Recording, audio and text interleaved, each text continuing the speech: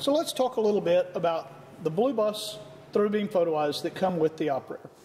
Again, these are a through beam device, transmitter and receiver. Both have to be wired back to the board where it says BlueBUS. So you can either connect wires separately from the transmitter back to the board and the receiver back to the board to the same two terminals marked BlueBUS. Or we can connect wires between the transmitter to the receiver or vice versa and then run just one pair of wires back to the board. Now the nice thing about a through beam photo eye is that it's going to be more reliable um, than a reflective photo eye. They're very reliable, um, less prone to falsing in, in sun glare, when it's rainy and foggy. Uh, they're just extremely reliable. Uh, obviously, not quite as convenient maybe to install as a reflective photo eye, but where you have access to be able to wire these units, they're really going to be your best bet. And we can actually connect up to six pairs of these to the same two terminals on the boards. So six pairs of photo eyes can be set up, and by changing the jumpers in these units, we can configure them to do different things. Uh, they can protect on the opening cycle of the gate, the closing cycle. So there's six different settings on these jumper settings here. And each pair, okay, transmitter to receiver, they have to match, the jumpers have to match, but every pair has to be different from the others. And that's how the board can tell the difference between this pair of photo eyes and subsequent pairs. Okay, so we connect up to six pairs of these photo eyes to the same place on the board where it says BlueBUS. Just a two-wire connection to both the transmitter and the receiver. Set the jumpers and away we go. Real easy, very reliable. But again, they are through beam, so you do have to cross the driveway with a pair of wires if you're putting the photo eye across the driveway. Here on my test system, I have a larger set of EPM LB slash A photo eyes, but again, the same actual internal device, just a larger enclosure. And here again, as I explained, we have just two wires connected to the photo beam. This is the receiver. And then on this other side, I have my transmitter. And you can see that I actually ran the wires from the receiver over to the transmitter. And then I'm tying another pair of wires to the same two terminals. And I'm running that one pair of wires back to the board. So again, my wires from my receiver come to the transmitter, and now a pair of wires going back to the board. Or I could have wired them independently back to the board. Now, at the 1050 board, I'm going to remove my connector that's on my BlueBUS input right there. I've already got my photo eyes pre-wired here. So again, I ran wires from my receiver over to my transmitter and then a pair of wires back here. So just one pair of wires coming back to my photo eyes.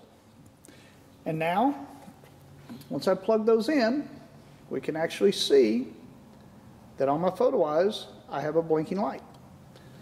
When these photo eyes are aligned and working properly, we should be getting one blink per second from both the transmitter and the receiver. So right now you see that they're blinking three blinks and then a pause, three blinks and then a pause, and that's because the board has not configured to these photo eyes or has not configured the photo eyes to the board yet. So what we're going to do now is we're going to come into our board. We're going to press functions. We're now in the learn mode. Press OK. We're going to select swing or slide. In this case, I'm programming it as a swing and press OK. And select average or light or heavy and press OK. At this point now, I would connect my motor, adjust my limits. I've already done that on this system. And, uh, and now if I'm ready to, to learn the system, I'm going to go ahead and just open the gate a little bit. And I'm going to press OK. And the first thing it's going to do is it's going to scan the BlueBUS. So it's looking for my monitored entrapment device. And it's setting up these photo eyes. And once it's established that the photo eyes are working, now the learning process can begin. If I didn't have these photo eyes hooked up, the learning process would have stopped and it would have told, given me a BlueBUS error and told me that uh, at least one monitored safety device would have been required. So now if we look at our photo eyes, we can see that we're getting one blink per second, a good, slow, steady one blink per second. And what that means is that these eyes are configured to one another. They're looking at each other. and they're properly aligned. So there's the transmitter blinking once per second. And now I'm going to pan over here to my receiver. And there we see the receiver blinking once per second. And we see that our board is going ahead and going through the learning process. And I'm up and ready to go. Now again, the blinking on the photo eyes tells you exactly what's going on with them. So one blink per second means that they're talking to one another and that they're properly aligned. If one of them were blinking a little more rapidly, it would mean that the alignment isn't quite what it should be. If one of them was steady on while the other one was blinking, it means that they're not aligned at all or something's breaking the beam. And again, three blinks per second means that there's either uh, the board hasn't configured the photo eyes to the board yet, or that there's a wiring issue or a jumper setting that the board can't configure the photo eyes to the board. So again, it's just a simple matter of wiring, running wires from the transmitter and the receiver either to one another and then one pair of wires back to the board or separate wires from each back to the board and then putting the board in learn mode, letting the board find the photo eyes, running through a learning process, and now you see our gate operators ready to work. The 936 board is exactly the same thing.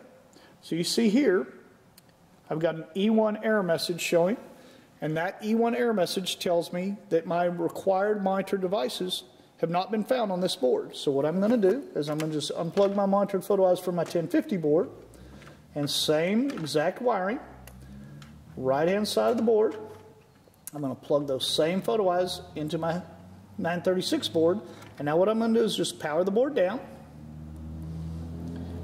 Let it completely power down. Now when I power it back up, the first thing the 936 board does is it looks for the required monitoring devices. And if it finds them, and if it's the same monitoring devices they had on it previously, and they're configured the same, the board will be ready to work.